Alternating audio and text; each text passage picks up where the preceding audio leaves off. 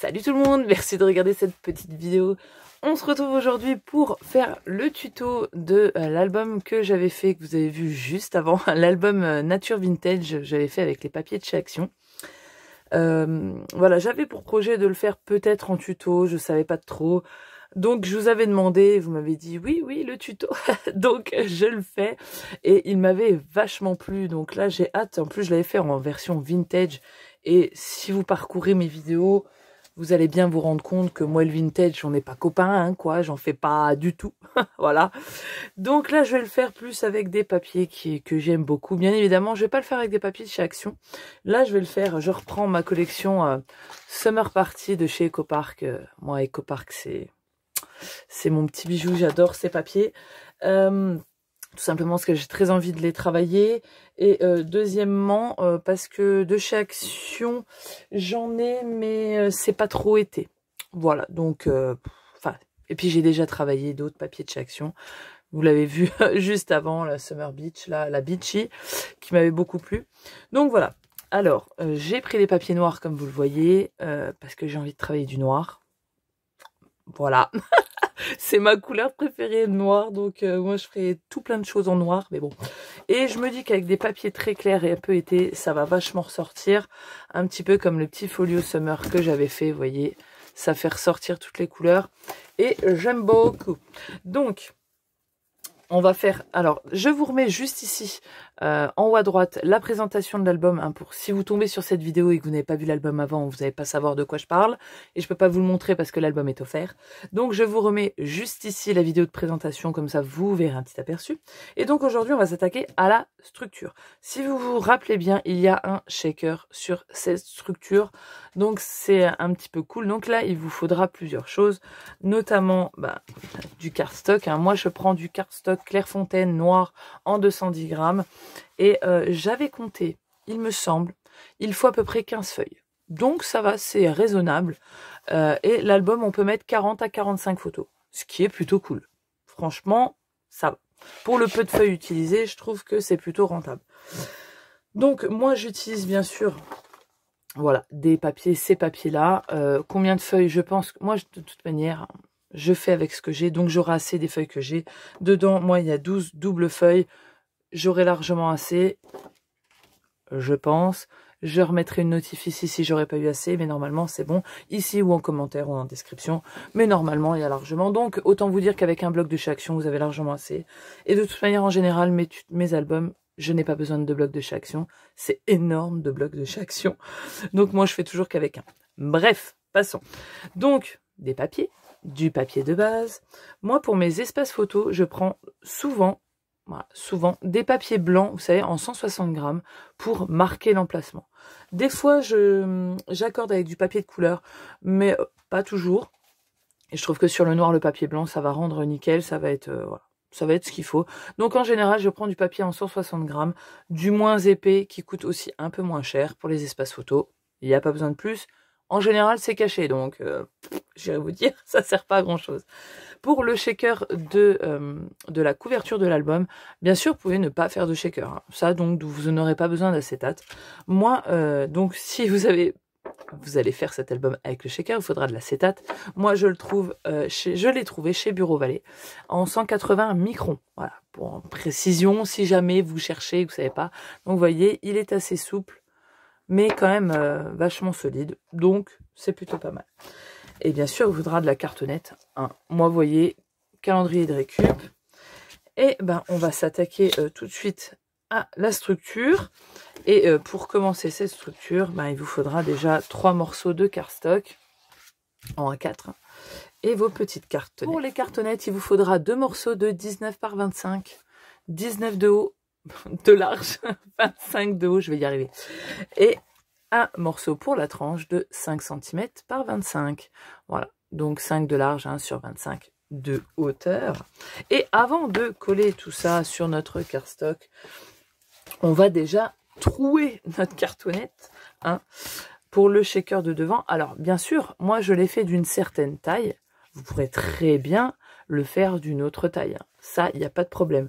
Moi, euh, si vous avez un plus petit motif, vous voulez mettre juste un petit encart, vous voyez, avec un, un mot, euh, Après, c'est à vous de voir quelle fenêtre vous voulez faire. Et justement, si vous avez un gros motif, une feuille avec un gros motif, vous pourrez très bien euh, le faire à la largeur de votre motif. Vous savez, des fois, on a des gros motifs sur des feuilles qu'on ne sait pas utiliser. Eh bien, vous pourrez très bien le coller derrière. Hein. Vous allez voir, on va s'en occuper après, quand on aura fait toute la structure.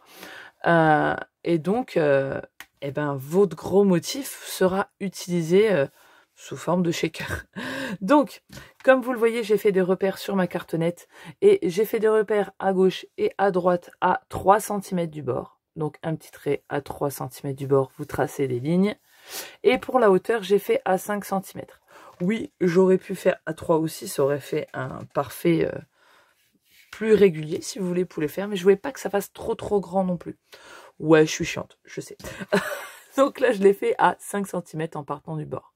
Ok Des marques à 5 cm en haut et en bas. On trace nos traits et on a notre petit rectangle ici. Et tout ceci, on va le supprimer. Ok Donc ceci, on va l'enlever. Donc vous vous munissez d'un cutter. Regardez ce qui me reste de mon cutter. Je sais pas, il a disparu.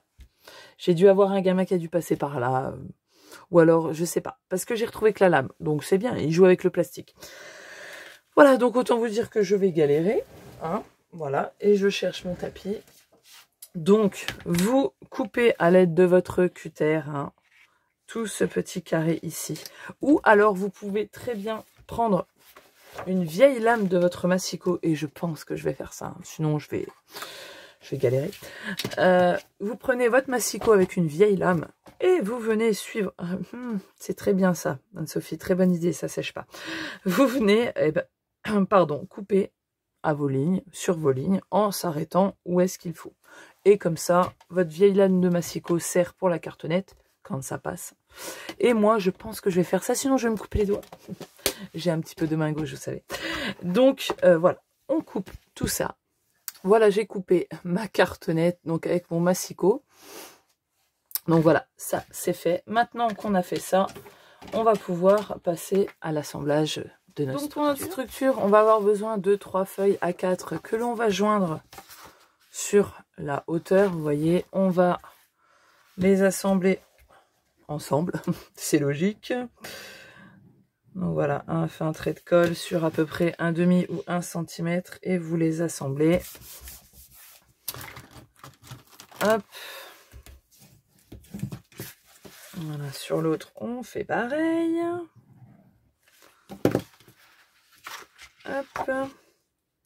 Et donc ensuite, avant de mettre de la colle sur nos cartonnettes, on va venir les disposer pour voir à peu près où on va les poser. Et ça, c'est plutôt important, faut pas y aller à l'aveugle. Donc, je pars du milieu. Bien sûr, notre cartonnette trouée, on va la mettre à gauche. Voilà, ce qui sera le devant. Hop, et donc je place bien ma cartonnette, ma tranche, en faisant attention qu'il n'y ait pas la jointure des feuilles qui se trouve. Vous, vous avez la jointure de vos feuilles hein, qui se trouve, faut pas que ça se trouve dans la jointure entre votre tranche et le devant. Hein, c'est important parce que vu que c'est assez fragile ici, si on met en plus dans un endroit qui va être ouvert, fermé tout le temps, ça va pas le faire. Donc on met bien notre tranche au milieu et on essaye de mettre à peu près voilà, on le place déjà comme ça. Bien sûr, de part et d'autre, vous allez avoir un petit peu trop de papier. Ça, on viendra le couper par la suite. Une fois que vous êtes à peu près bien et aligné, enfin aligné, euh, comment dire, vous avez laissé à peu près la même hauteur en haut et en bas, vous voyez, c'est un petit peu grand. on vient mettre de la colle sur tout ça.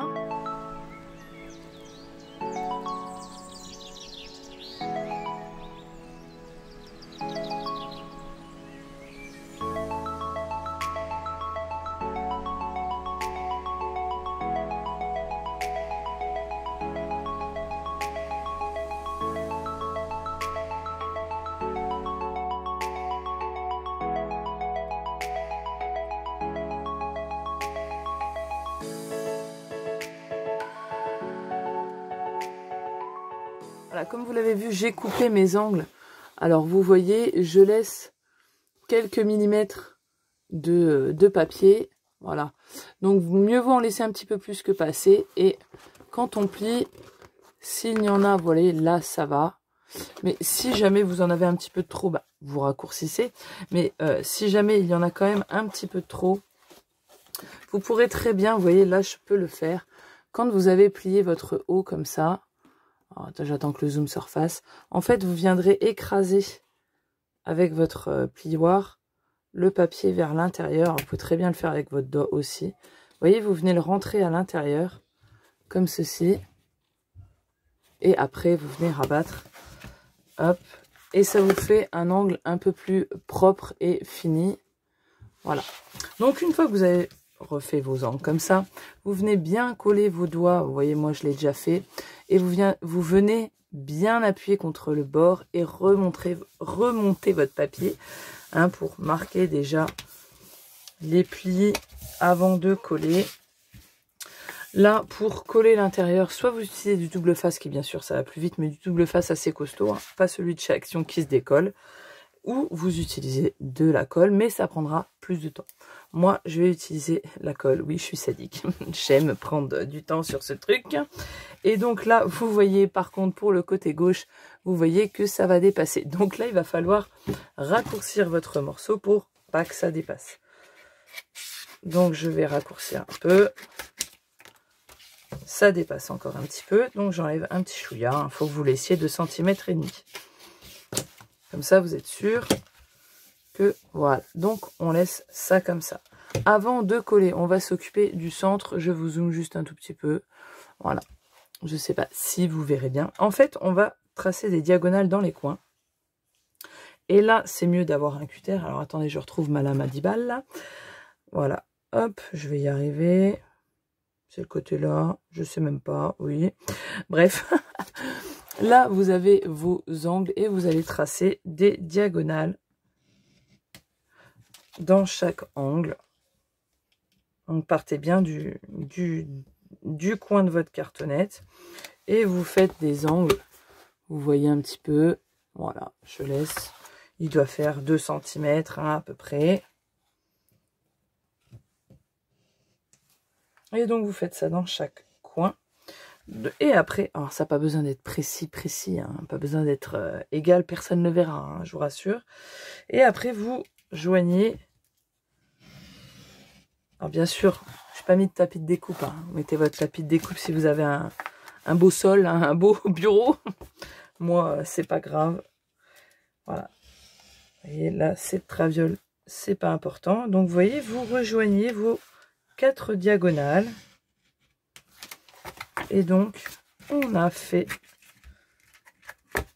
Hop Voilà. Et vous voyez, vous obtenez vos rabats qui vont venir. Donc, si jamais c'est pas bien coupé, vous repassez dessus hein, en allant jusqu'à l'angle. Si jamais... Voilà. Et donc, vous obtenez vos rabats qui vont venir cacher tout ça. Et bien, vous faites comme on a fait sur l'extérieur. Vous allez venir Collez votre papier avec votre doigt contre votre cartonnette en appuyant bien pour le relever. Et ensuite, vous le plaquez sur votre cartonnette. On fait la même chose sur tous les côtés. Et donc, ces petites languettes-là vont venir aussi se coller. Alors, vous rabattez d'abord celle-là, vous collez celle-là. Vous collez tout votre tour. Et après, comme ça, vous viendrez cacher celle-là, vous voyez. Ça fera une petite sécurité en plus. Hop. Et voilà, maintenant, on est prêt à coller l'ensemble de notre structure.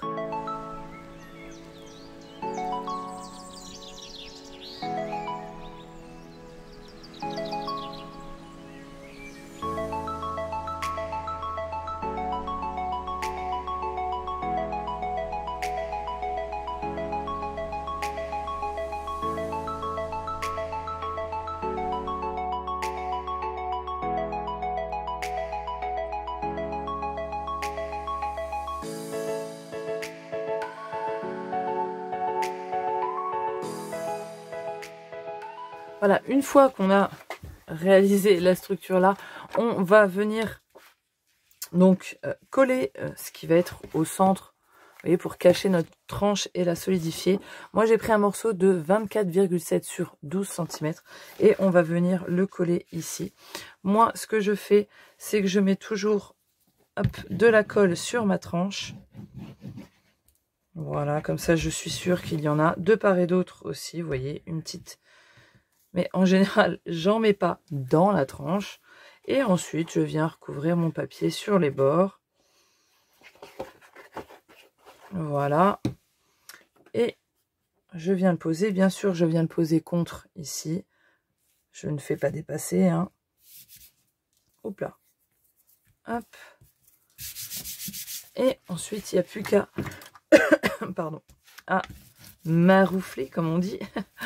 Donc, je viens bien appuyer sur mon papier et je viens marquer ma tranche. Vous voyez, le pli, je viens le marquer pour bien que mon papier prenne la forme en fait de l'album quand il sera fini et que la jointure soit bien faite. Et là, ce qu'il reste à faire, surtout avec la colle de chez Action, c'est comme pour le tour, hein, c'est faut appuyer. Donc là, une fois qu'on a bien sorti, vous voyez, vers l'extérieur, on vient faire notre, notre pli. Et voilà, donc on continue de bien appuyer jusqu'à ce que ça sèche, pas que ça fasse de bulles. Et surtout, pour ne pas faire de bulles, ce qu'il va falloir faire, c'est laisser votre structure patienter pendant au moins une demi-heure, le temps que ça sèche parfaitement. Et après, seulement après, vous allez pouvoir le, le plier et euh, voilà, vous euh, le, lui prendre sa forme, euh, sa forme, sa forme de fin. Je vais y arriver à parler. Voilà, donc vous appuyez bien, vous marquez bien vos plis et surtout vous le laissez à plat, tranquille. Voilà, pour qu'il sèche calmement. Voilà, on a fini la structure, vous voyez. C'est plutôt sympa. Donc là, à ce moment-là, il va vous falloir choisir le papier que vous allez mettre en fond ici. Oui, parce que moi, je ne recouvre pas de papier. Hein. Je mets directement mon papier design parce que ce papier va apparaître ici, bien évidemment. Il va falloir aussi que vous choisissiez les sequins que vous allez mettre. Moi, j'ai pris tous ceux que j'avais. voilà. Comme c'est des papiers très été, je vais mettre du bleu, je vais mettre du vert, je vais mettre du rose, je vais mettre du jaune. Je vais mettre un peu tout. Hein. Donc là, vous choisissez votre papier de fond. Et il vous faudra couper un morceau d'acétate. Je je l'ai encore paumé. Je muse. Voilà, je l'ai récupéré. Il était juste à côté de moi, je l'avais juste pas vu. Et j'ai des lunettes. Bref, il vous faut un morceau, il vous faudra un morceau d'acétate de 16 sur 18. Et euh, ce morceau d'acétate là viendra se coller sur le dessus avec du double face assez costaud. On va faire ça après, on en mettra sur les bords ici et voilà, sur deux, euh, à peu près un centimètre et demi.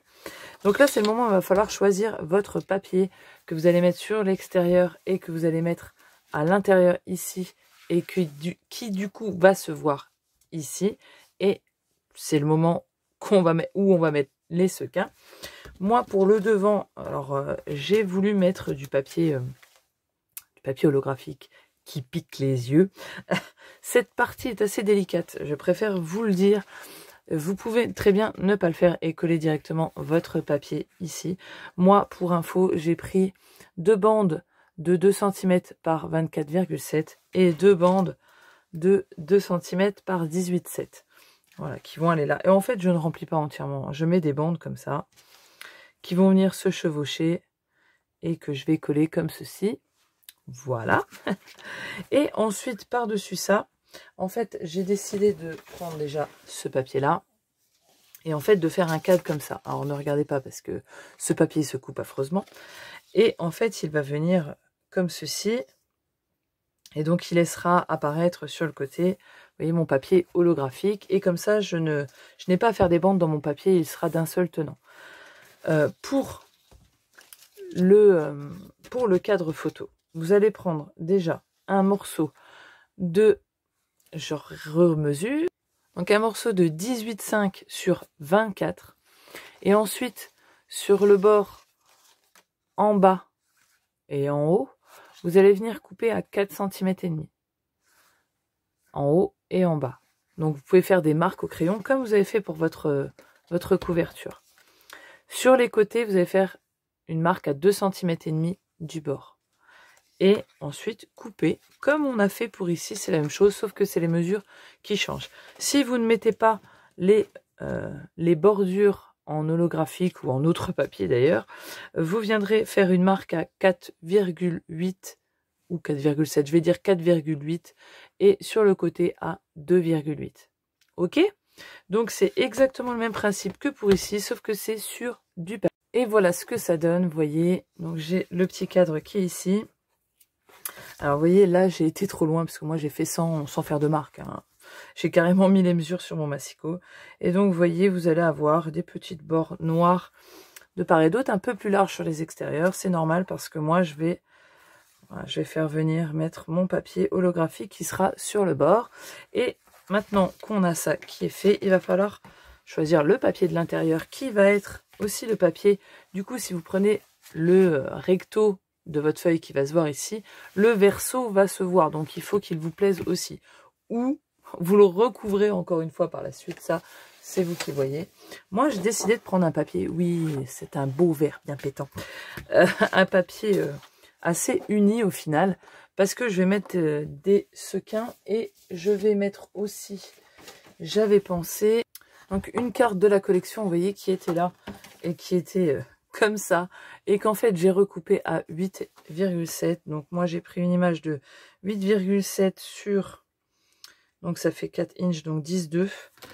Voilà, parce que je vais venir la mettre au centre, à mater sur du papier euh, noir, je pense, ou holographique. Vous le verrez ça dans l'accéléré.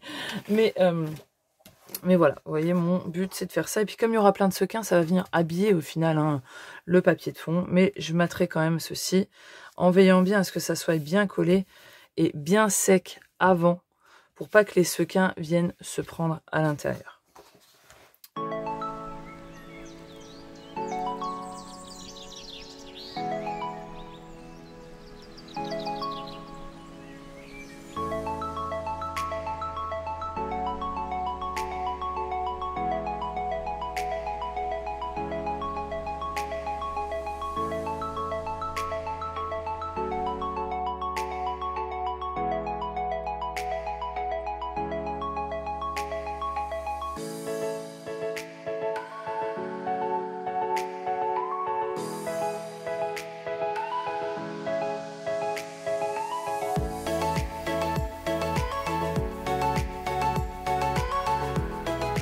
Voilà, on en arrive au moment délicat de poser l'acétate. Donc comme vous voyez, moi je l'ai collé comme ça.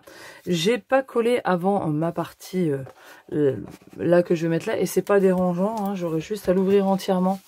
Et euh, voilà, à venir le maroufler à plat comme ça. Donc maintenant que j'ai posé mes bandes, alors bien sûr, si ça vous paraît bizarre euh, d'avoir le bord en noir et l'extérieur en, en brillant comme ça, vous pouvez euh, bien couper vos bandes juste un ras euh, jusque là, hein, pour euh, que on voie le, le papier holographique ou de votre choix différent sur le bord aussi. Hein. Après, moi, ça me dérange pas. Je vais mettre de la déco, donc au final, on le verra pas trop. Donc, je vais coller ça ici. Voilà, j'ai bien collé mon papier. J'ai attendu un peu pour que ça prenne vraiment bien. Là, je ne l'ai pas collé encore. Hein. Je le pose juste pour moi me donner une impression de voir comment ça, comment ça rend. Et là, je vais mettre, on va mettre les sequins.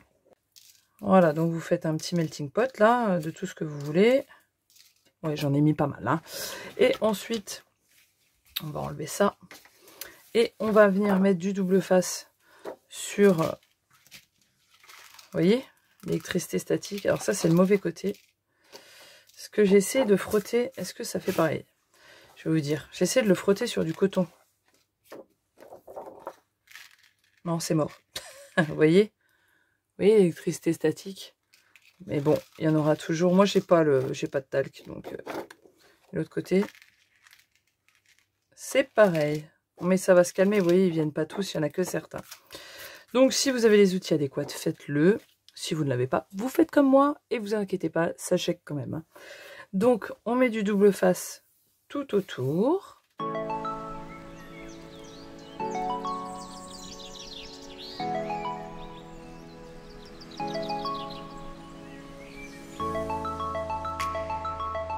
Donc voilà, comme vous le voyez, j'ai fait un bon tour. J'ai mis euh, deux rangées hein, de double face. Moi, c'est du 6 mm. Et maintenant, je vais coller. Alors, il faut se mettre quand même un petit peu au bord, mais pas trop, parce qu'il va y avoir votre papier décor qui va arriver à un certain endroit. Il ne va pas forcément arriver euh, vraiment à ras du bord. Donc ensuite, vous le faites attention que vous êtes dans le bon sens, hein, vous avez bien les 16 cm ici. Et puis ensuite, vous vous calez. Hop, comme ça. Et vous avez juste à appuyer. Et puis, bah, ma foi, votre shaker est fait. Et il vous restera plus qu'à coller votre papier. Ça rend bien. Alors bien sûr, si... Euh, et regardez, c'est pas beau ça Alors oui, il y en a qui restent collés, hein, mais il y en a très peu. Et j'adore ce mélange de couleurs, vous voyez, c'est très... Euh, voilà, c'est très sympa. Et comme je vous dis, moi je vais faire, il y a des stickers dans la collection là. C'est vraiment très cool les collections d'EcoPark. Donc moi je vais m'amuser à décorer tout ça après. Bien sûr si vous voulez mettre une fermeture, un ruban, vous pouvez le mettre ici. Ou vous pourrez le rajouter avant ici. Voilà, c'est pareil. Et idem de l'autre côté. Comme vous l'avez vu, je n'ai pas rempli ici, je le ferai à la fin. Avec un papier de mon choix et la tranche, c'est pareil. Pour le devant, vous prenez exactement la même pas exactement, je dis une bêtise. Vous prenez un papier de 24,7 sur 18,7, voilà. Et euh, la tranche 4,7 sur 24,7. Voilà, tout simplement. Et puis, ben, on en a fini. Pour, vous voyez, même là, on le voit. Ce qui est bien, c'est que j'ai pas mis trop trop au bord. Donc, ça va, c'est plutôt, plutôt cool. Ah, je suis contente de ces couleurs, là. C'est vraiment sympa. Des fois, il faut pas se poser de questions. Voilà. Donc, on a fini avec cette couverture. Je suis plutôt contente. J'ai hâte d'avancer et de faire le reste. Et eh ben, ma foi, on se retrouve dans le prochain tuto pour la couverture ici et la page numéro 1. Et ensuite, comme vous m'avez demandé, je vous avais posé la question que vous préférez une vidéo euh, pour une page. Donc euh, voilà, je ferai euh, la couverture, la page 1. Dans une autre vidéo, le dos de la page 1 avec le début de la page 2 et ainsi de suite. Je pense que ça sera plutôt cool et peut-être pour vous ça sera plus évident avec une photo des pages à chaque fois. Je pense que ça peut être cool et plus vous aider à visualiser déjà à l'avance ce que vous allez faire. Voilà. Bon, bah, écoutez, je vous souhaite un bon scrap et je vous dis au prochain tuto. Ciao, bye bye.